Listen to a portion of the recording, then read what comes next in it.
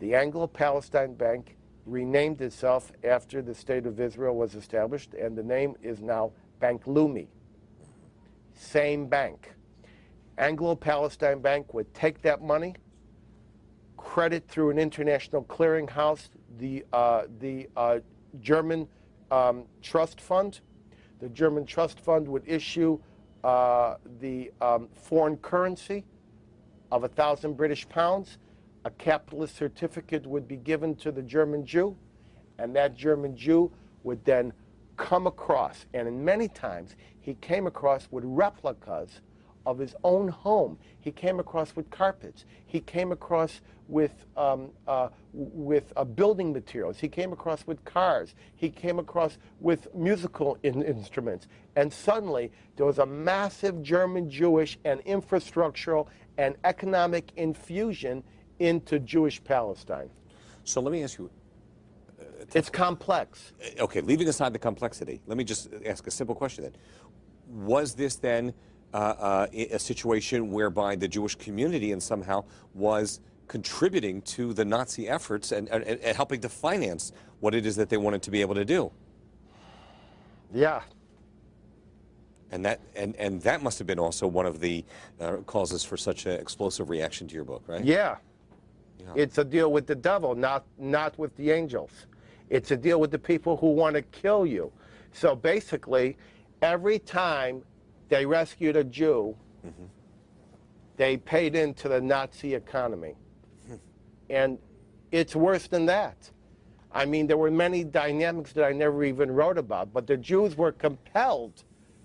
The Jews were compelled to rescue Jews in this fashion. It was a terrible uh, uh a choice to have to make. It was a terrible choice that was thrust upon the Jews, but you do not, uh, upon the Zionists, but you do not blame the, uh, the hostage did, with the gun at their forehead. Did the Zionists consult with anybody on this, or they just said, you know what, we've got to do this, and this is what we're going to, we need to do? Words, did they talk with the American Jewish Committee or Congress? I, mean, I assume I know the answer. They, they just, you know, went on their own. Is that right? They didn't care about the American Jewish Committee. Right.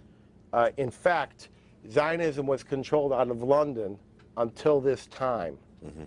And by the time uh, uh, the transfer agreement came to the fore, the access point for uh, uh, Zionist um, uh, authority had transferred to Jerusalem. And so the people on the ground in Jerusalem were making decisions. And they weren't just taking anyone on a first come, first served basis. They were actually concomitantly building the state of Israel. And so consequently, they, they took the people who had a chance of surviving okay. in Jewish Palestine, not just anyone. When we've, when we've used this term, the Zionists, that's the Zionist leaders, the Jewish nationalists, any particular leaders in, in uh, uh, that, that, that, were, uh, uh, that we know of who were uh, um, involved in advocating for this? Yes, the entire Jewish agency. We're talking David Ben Gurion. We're talking. We're, we are talking about another gray, not black and white fabric. Mm -hmm. just as I said, the American Jewish community was divided between uh, these two different blocks. In the Zionist community also there were The Zionist community was also they not monolithic. Uh -huh. There was what was called at that time the Labor Party, the, the, the, the Mapai Party. Sure. You're talking about people like Ben Gurion. You're talking about a guy by the name of Chaim Arlosoroff. Sure. Everybody who's been to Israel has been down the street called Arlosoroff. Absolutely right. And Arlosoroff was the chief engineer of this agreement, mm -hmm. and he was murdered for it on the beach in Tel Aviv at the location where the Hilton now stands mm-hmm. uh, in Tel Aviv, sure. right there. There was no Hilton there at that time. And he was killed presumably by uh, the followers of the dissident Zionist faction. And that dissident Zionist faction was led by a group associated with Menachem Begin, but really associated with uh, Jabotinsky. The revisionists. And they called themselves revisionists. And the term revisionist at that time meant we have a new idea for uh, Zionism. And these were the fighting Zionists. These were the Zionists who, who said, we want to fight Hitler. We don't want to have a deal with him. And consequently, as the Jewish community was torn apart on the uh, uh, sub- subsuming and subverting the uh, the boycott, the Zionist community was fighting. They had riots. They had um, uh, contentious votes. They, they, they, they, they were tearing their hearts out, saying, "How can we cut a deal with these Nazis?" Because right now it's common to say uh, the Nazis weren't thinking of extermination. I've gone into the record. My first use of the word, uh, my first common use of the word extermination in Nazi literature goes back to 1933. And that's because that was the word they used in, in World War I to exterminate the, Ar- the Armenians, was extermination. So consequently, it was uh, a word of parlance of the day. And the Zionists completely expected everything that happened because they had a complete grasp on Jewish history, uh, on the worthlessness of Jewish life at, at the hands of murderers. They had seen many, many Jews die in Eastern Europe and in other parts of the world. So, so I want to fast forward now. We're talking about the controversy that occurred then. We're talking about the, talking about the controversy about the book. Um, on a personal level, uh, exposing this, dealing with this, writing about this, uh, obviously must have been uh, uh, a, a lot of, uh, well, I don't know what to say, uh, whether it was ad hominems, attacks, or whatever. Uh, What was it like when the book first came out on, uh, for you in that context? Well, this was my first book. I was only, um, you know, I was in my 20s when I started it. Uh, it came out in 1984. Um, I, I had been the editor of a, of a, a city magazine, but I'd never been ins- e- e- exposed on the international stage. Uh, the book was published uh, um, uh, world, worldwide, and um, uh, people were shocked, surprised, confused. Uh, there was a town hall meeting set up in Chicago to discuss this, and it was supposed to be in some little uh, JCC uh, uh, social room. And by uh, one o'clock, so many people had made reservation. They moved it to to a large synagogue, and then they moved it to a football stadium. And I had 1,100 people waiting to hear me uh, talk about this, and um, uh, it was rough. There were people who uh, uh, they said that Muammar Gaddafi was financing me. I had picket lines. They said my parents were from Kuwait. Of course, they're Polish survivors. Um, they um, hired psychologists to psychoanalyze me. Why am I doing this book? But ultimately, the test of time, the historical veracity, the truth of the book. Were you, uh, were, were were you surprised, or did you anticipate that it may have that kind of reaction, by the way? I was, I anticipated because that was my reaction. Okay. I hated the project. But you like the book. Well, I wrote the book. Rewrite the book. The book had to be written, and I and I wrote it. And I wrote it. So it was a story you felt had to be told. Yeah, I was on a, a, uh quest. To, uh, so, so It was trial by fire for my first book. It prepared me well for IBM and the Holocaust. did so? Were you surprised as you were doing your research with where you got, in other words, or, or when you started it?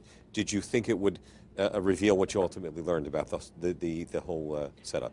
The entire book covers the minute by minute developments in three countries, accounting for time zone shifts in Jewish Palestine, Germany, and the United States. We have diplomatic uh, uh, uh, messages going back and forth, and it only covers the first eight months of 1933. It's very, very intense. Um, it accomplished what I wanted to do, which is to understand what had happened.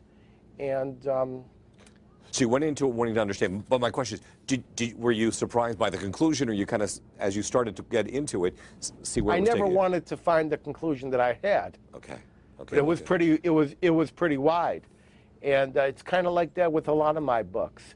Uh, I never believe how far it's going to go, and uh, I take it to the end of the factual line. Uh, I, I remember you're telling me about the IBM book and saying you just stood at the Holocaust Museum staring at the uh, IBM mach- uh, machine there and wondering, the computer, why is that there? So I know that you just process it and think about it. What were, uh, uh, tell us about some, what would be, uh, uh, when it first had come out, the, the worst moment, your, your most gratifying moment as well, just to, Well, the worst moment, the worst moment, what was the worst moment? Um, the worst moment was probably um, when um, I had a guy, uh, there were people uh, uh, attending my, uh, one of my lectures. He was an undertaker. And uh, he said to my parents, we want to bury your son's book. wow. And the best moment was when I won the Carl Sandburg Award from the best book of the year. And I uh, became a cause celeb in the Jewish media. And from there, I developed a syndicated column in, um, um, in 50 Jewish newspapers, on the strength of the transcript. The Jewish media actually, well, I didn't even know there was a Jewish media. I didn't know there were, at that time, Jewish newspapers in every city, and the Jewish newspapers plastered this all over and gave it a great deal of credence, and it gave me entree to uh, pursue my wider mission of uh, exposing injustice against the Jews, uh, Holocaust factuality and verity, and to do the other things that I've done.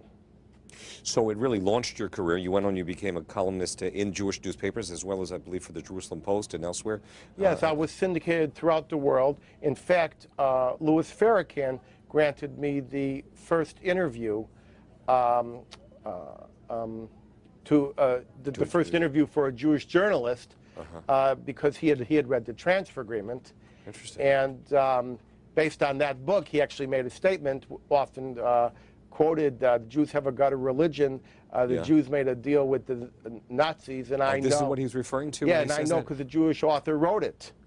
And so there are a lot of um, uh, antagonists who use this information to invalidate the Jewish state and who use this information falsely to, um, uh, to claim that the Holocaust did not exist. It's just, but these same people will use the Bible, the biography of Golda Meir, the, biography, the autobiography of Ben Gurion, uh, Moshe Dayan. They will use anything that, that, that they have.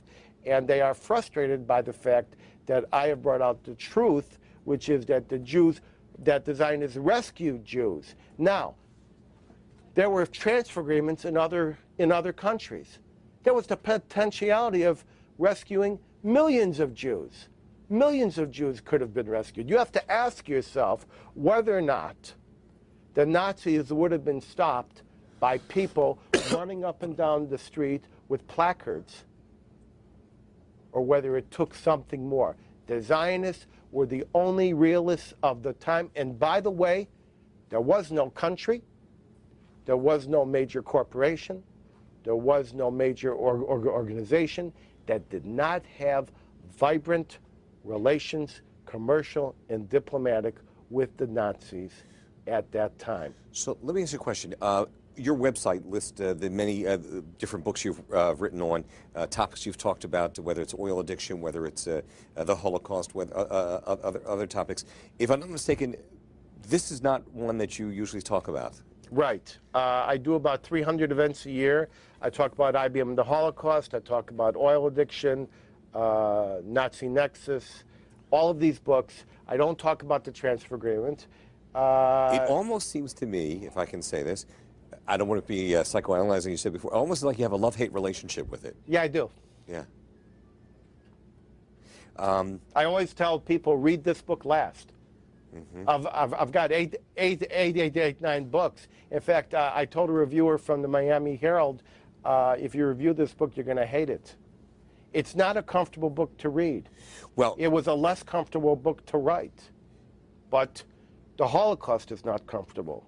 And the truth is never comfortable. Now, in the uh, the the, the uh, back of the book, as well as in the uh, uh, when you signed it, and, and you did this for me as well, you wrote uh, you asked the question: Was it madness or was it genius? Yeah. Um, you want to shed any light on that? You want to?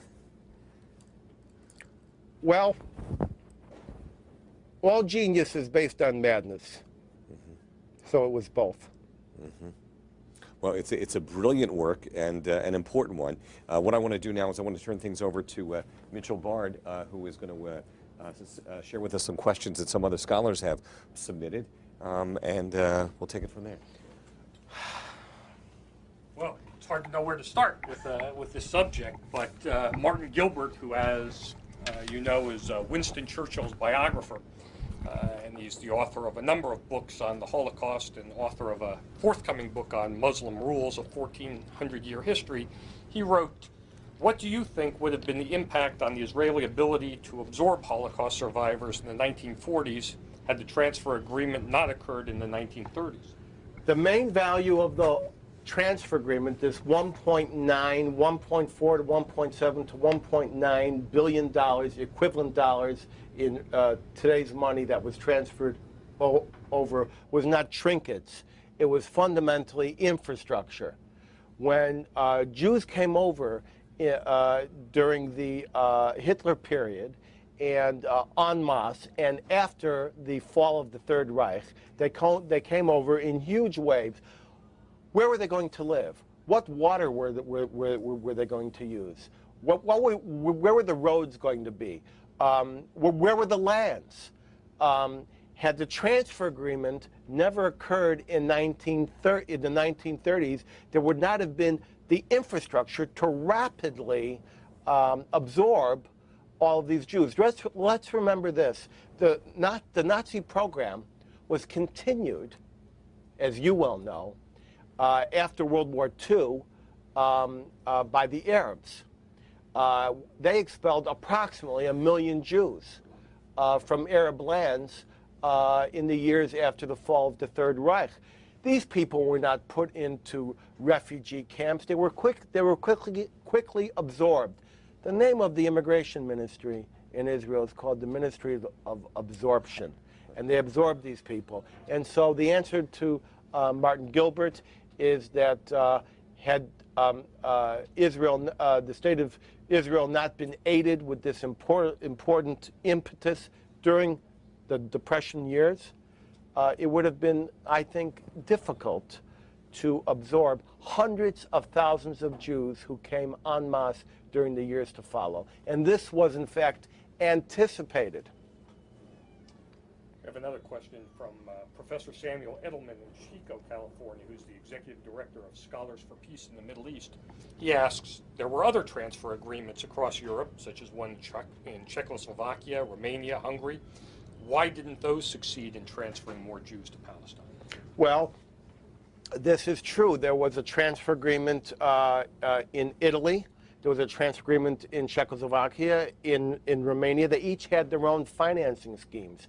And as the situation became more dire for the Jews in Europe, remember Hitler went into Czechoslovakia and he went into Austria and he began to take over Europe.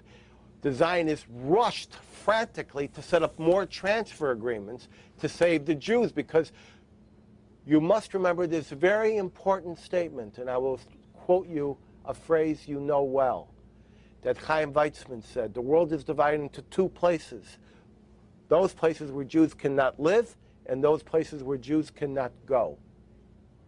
There were most people think that Evian is just water you buy at the store. The Evian conference lives with us in 1938 as what to do with hundreds of thousands of refugees, where the doors were shut. So Palestine was the only door open to the Jews. They weren't allowed into, uh, uh, into most of the nations of the world. So these transfer agreements had the possibility to transfer hundreds of thousands of more Jews. Romania, Hungary, most of the Hungarian Jews were wiped out uh, in transports. Uh, they were organized by, uh, in Hungary by the, um, one of the members of the board of directors of IBM, Ed, uh, Edmund Veesenmayer. And imagine if these uh, Jews had come by the boatload, literally, into Jewish Palestine. What happened? The war happened economics stopped, international trade became Ill, Ill, Ill, illegal, and the Zionists were not able to continue transferring these monies out in an effective and meaningful fashion. And so the war caught up with the transfer agreement before the transfer agreement could catch up with the genocide. Professor Byron Sherwin of Spertus College, the author of many books on ethics and most recently uh, The Life Worth Living, uh, who was also, you mentioned the, the scholar who first told you about the transfer agreement, asks, uh, you first heard about the agreement in an interview you did with me in the 1970s. I recall that when I told you about it in very general terms, you found it hard to believe that it actually happened. Now, after all your research, writing, and thinking about it, do you still find it hard to believe that it happened? I didn't believe it happened in those days because I wasn't smart enough to know that it happened. I wasn't wise enough to know. Uh, I'd barely been out of Chicago. Uh, the march in question was one in Skokie, where where my parents lived. It was just outside. What do, if I was presented with this information now? I would believe it in an instant. I would have never believed that IBM would have had a 12-year um, uh, pact, uh, uh, a widespread commercial coalition with the Third Reich to identify the Jews and even to create the basis of the Auschwitz tattoo. I would have never believed that the Rockefeller Foundation would have financed a program that sent Mengele into Auschwitz. I believe all of these things now, and I believe them because of the trial by fire that I had when I did the transfer agreement. Professor Sherwin offers a second and very penetrating question. If the revisionist Zionists led by Vladimir Jabotinsky and Menachem Begin had been controlling the Jewish agency instead of Chaim Sorov, would there have been a transfer agreement? Would there have been German reparations to the State of Israel in the 1950s? And what, what might have been the economic and political outcomes for the State of Israel in its very early history? Well, I'm often asked, I'm constantly asked what if questions on the transfer agreement. What if the boycott had succeeded? What if the transfer agreement had never been there? But here's one I think I can answer. And it's very dangerous. If is the, is the sketchiest word in history. What if? I believe if the revisionists had controlled the uh, transfer agreement, the uh, Jewish agency at the time, uh, I doubt very strongly that there would have been a transfer agreement with the Nazis. Now, it's important for me to explain here uh, the, uh, the delicate fabrics of the revisionist movement. They had actually good relations with the fascist Italian regime because they believed in a, a, a very strict organization. They believed in, in, in that. But I do not believe, based upon the uh, immense uh, vituperative reaction of the revisionists that they would have ever allowed uh, the Zionist organization and movement to cut a deal with the Nazis. They would have rather fought them, and they did fight them. And by the way, from that, you can extrapolate on your own what the economic consequences would be. Now, would there have been reparations to Israel? Those reparations were actually calculated in 1938 by um, Nachum Goldman. I had access to his unprocessed papers at the American Jewish Archives in 1938. And 1938, before the war broke out, years before Auschwitz was established, the Zionists were already uh, uh, anticipating the worst. Why? Because they were realists. Because when Hitler said we're going to destroy the Jews, they actually paid attention. And they actually went out and did mathematical calculations on uh, Nachum Goldman. I have the report. Um, I've never mentioned it until this moment on what the anticipated destruction, economic and human, would be if Hitler succeeded. And Hitler almost succeeded. He succeeded 99% in many countries, and uh, he was stopped, but just barely.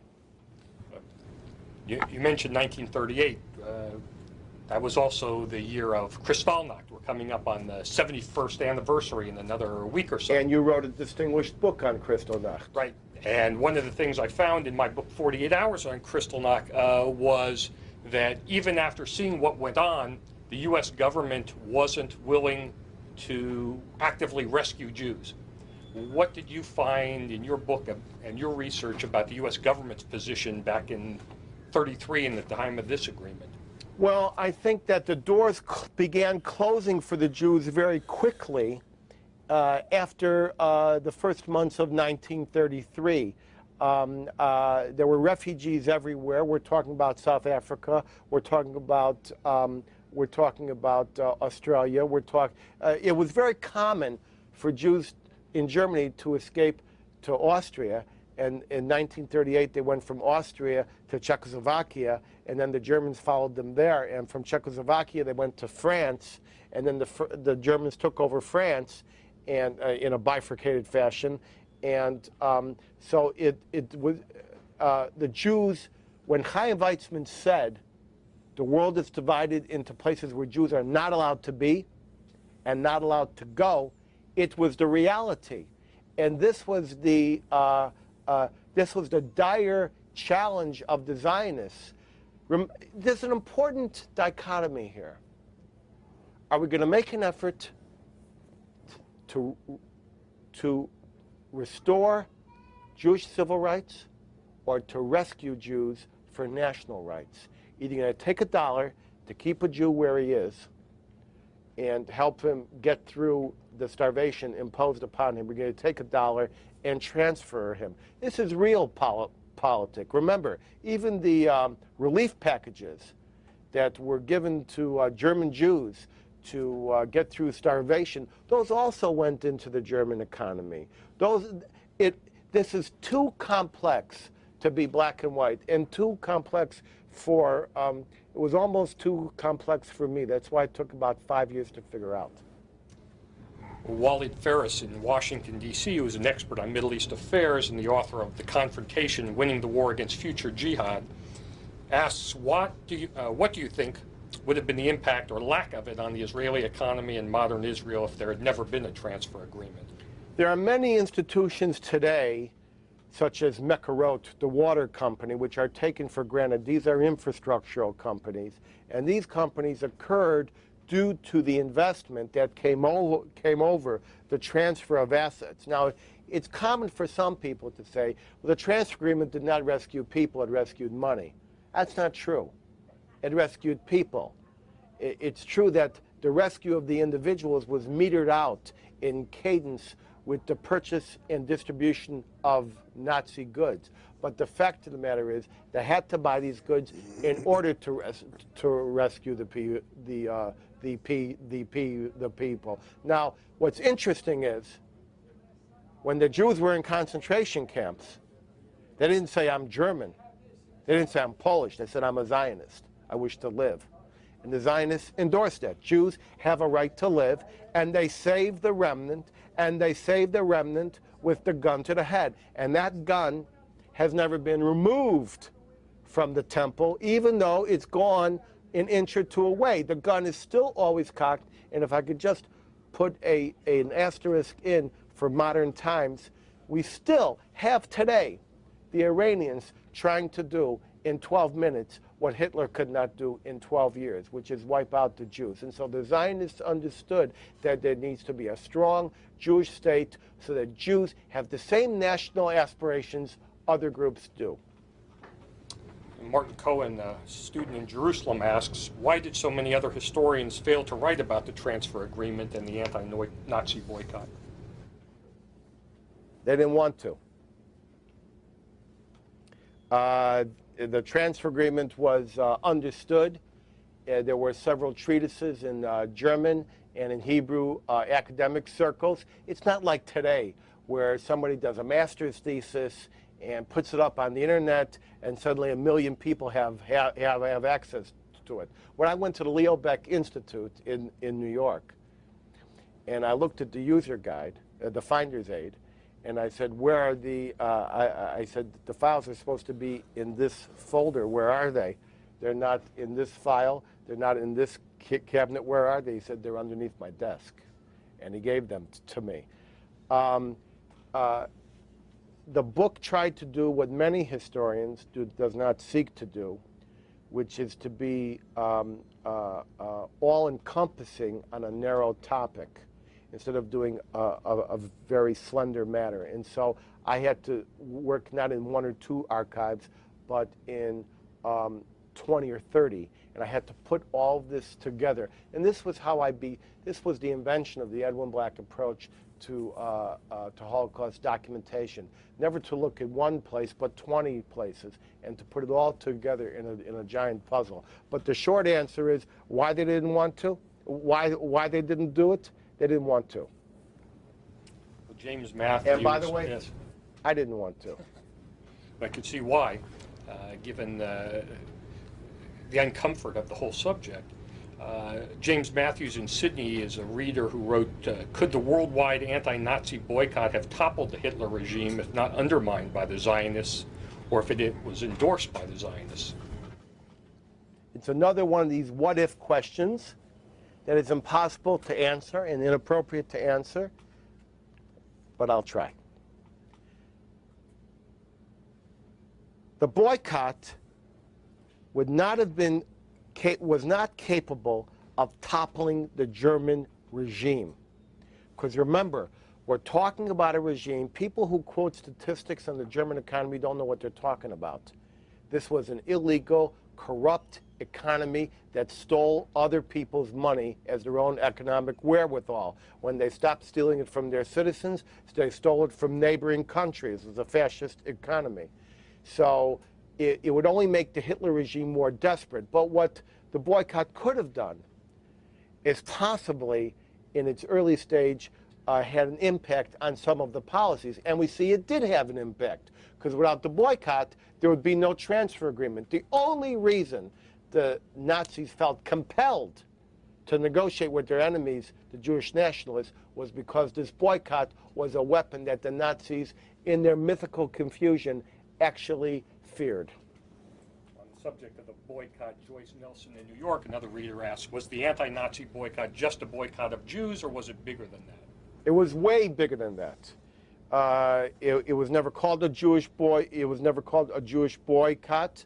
Uh, it, uh, there were Catholics involved. Uh, some of the greatest uh, figures in the uh, New York Arch Archdiocese and Boston Archdiocese were involved. The Polish were involved. Labor unions were involved. The Protestant community was in, in, in, involved the, the organizers of the boycott against the Nazis were very careful to sculpt this as not just a, uh, um, a, a, a, a, Jewish tragedy, but one which was threatening the world. You know what they say?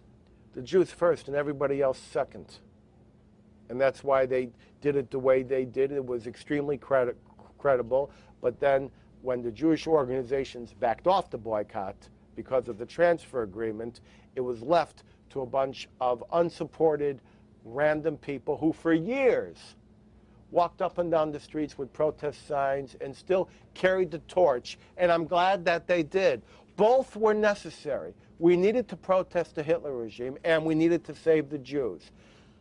I am not, I am not unhappy that both occurred. Well, Kenneth Babu uh, in Fresno, California, a computer programmer actually asked a, a related question granted what you're saying about the importance of the boycott, he wonders did the Zionists cooperate too soon and for too little?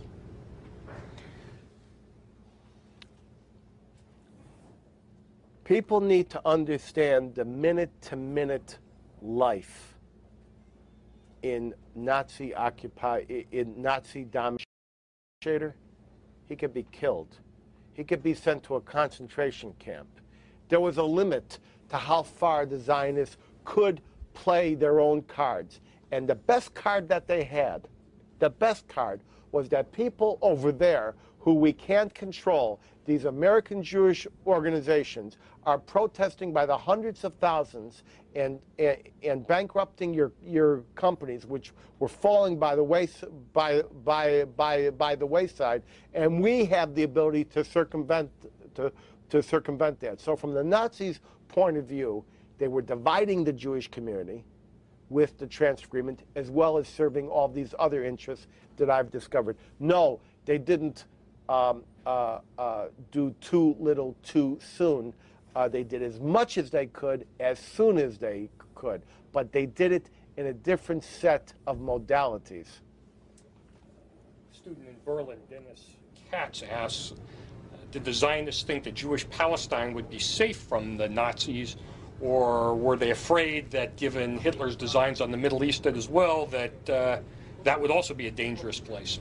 I think it was always understood by many that uh, uh, that Hitler uh, thought of Palestine as a great big prison camp for the um, a great big prison camp for the Jews. They'd be put there in Palestine, and then they could take over over, over the Middle East. But uh, I think the Zionists thought, uh, let's save the Jews on Monday, and we'll figure out what happens on Friday. You know, it's always been a Jewish aspiration. We don't want to be killed before Shabbos. Yeah. Well, let's finish with a, a last question from Joseph, uh, Joseph Myers, a retired teacher here uh, in Montreal. Uh, how did you work on the transfer, or how did your work on the transfer agreement affect you personally? And why is this one event in Washington your only event on this book when you speak so often on your other books? Well, it's an appropriate final question. Um, it affected me personally uh, in that it set me off on a uh, circumnavigation of the world of evil. And uh, um, as circumnavigating the world of evil and injustice against the Jews and other groups, the further I go, the more I end up at the same point. And I always end up where I started. Uh, so it's done that to me. Uh, as to why this is uh, my uh, only event, because um, um, I choose to. Well, I want to thank uh, Rabbi Weinblatt uh, for a stimulating discussion and uh, Edwin for a, a, very important book, which even 25 years later, as you say, still cower, covers and offers a very powerful message for us. Thank, thank you. And thank you. Thank you. Thanks. Thank you, Mitch.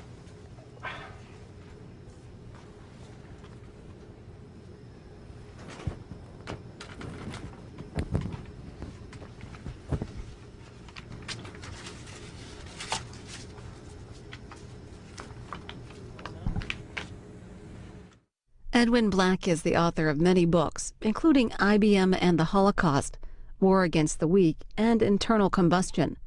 He's the editor of The Cutting Edge News. For more information, visit transferagreement.com.